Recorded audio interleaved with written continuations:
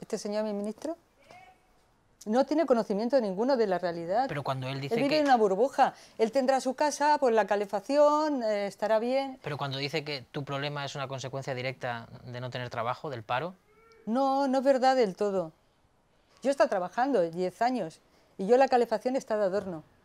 Y he estado trabajando a media jornada, un contratito, otro contratito, si yo he tenido trabajo. Yo he vivido así, ahora es que no puedo pagar, definitivamente. Pero no es fruto de la pobreza, es fruto de que han hecho unas leyes que no favorecen, no que no favorece, es que nos están hundiendo al pueblo. Pero me- no me parece normal, nada de lo que está sucediendo, porque hablan de macroeconomía, de números, de tal, no entiendo ni papa, pero lo que sé es que voluntad no ha habido. El ministro lo achaca todo al paro. Yo, mi realidad, en mi barrio, mi círculo de, de por alrededor, y yo eso no lo veo. Los jóvenes se están yendo, muchos extranjeros que estaban aquí se han largado, Eh, entonces baja la lista del paro, claro.